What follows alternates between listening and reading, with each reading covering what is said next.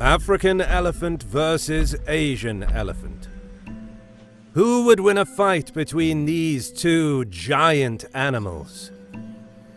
Elephants are ecosystem engineers and play a vital role in their native habitats, helping maintain the rich biodiversity of the spaces they share with other wildlife. Though elephants are native to only Africa and Asia, they hold significant cultural and symbolic meaning around the world. The African elephant is the largest animal walking the earth. They are easily recognized by their trunk that is used for communication and handling objects, and their large ears allow them to radiate excess heat.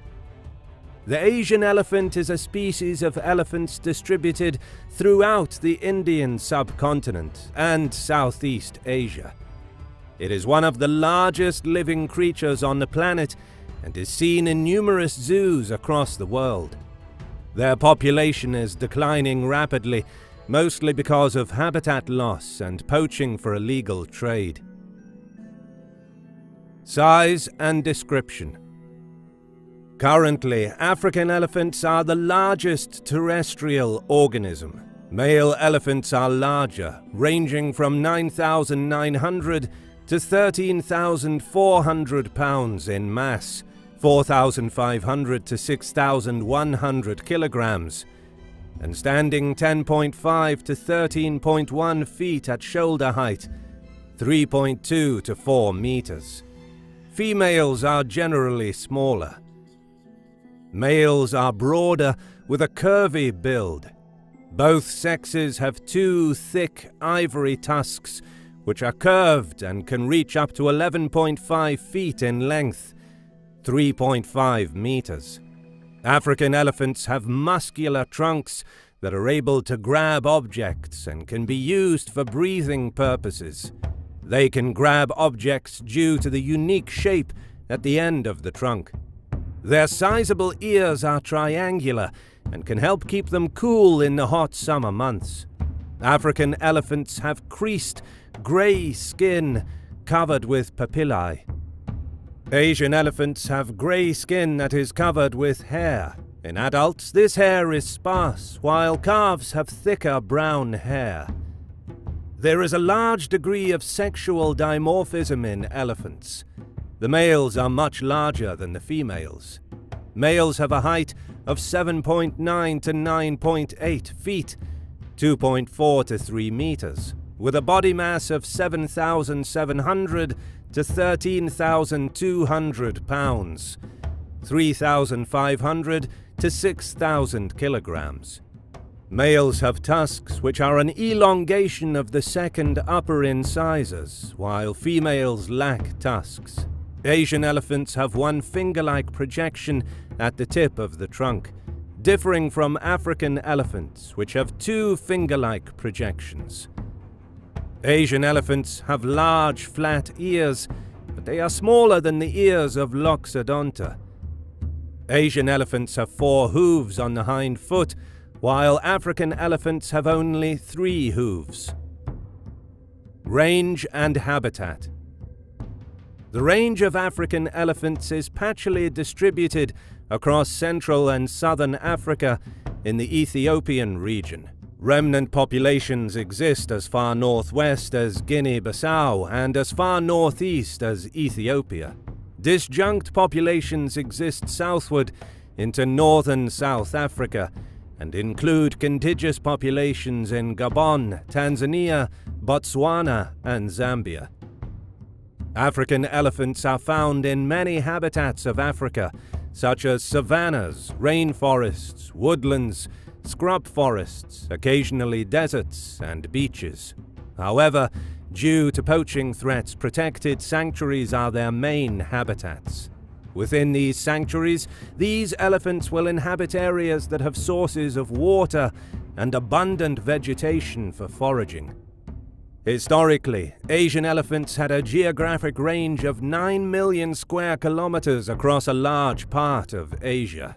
This range extended as far west as current-day Iraq, as far north as the Yangtze River in China, and across the Indian subcontinent and Southeast Asia, including the islands of Sri Lanka and Sumatra. The current geographic range is 500,000 square kilometers, which is only about 5% of the historical range. This range consists of small discontinuous areas in the Indian subcontinent and Southeast Asia. Asian elephants live in a variety of habitats in the tropical region, including grasslands, tropical evergreen forests, moist deciduous forests, and scrub forests. Food habitats.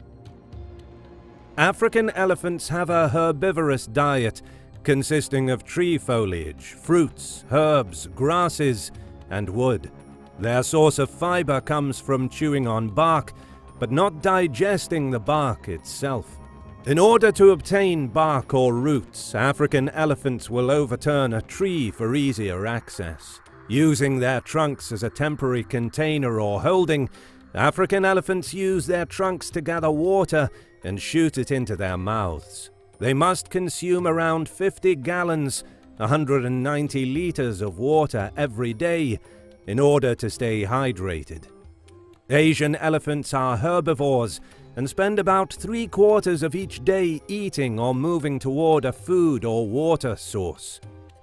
Feeding is not continuous, with three principal feeding bouts in the early morning, afternoon, and night.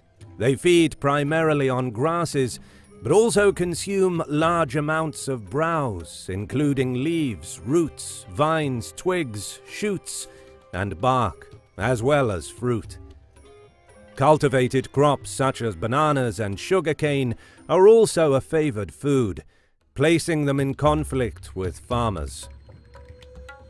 Behavior Savannah elephants live in a rather complex social hierarchy.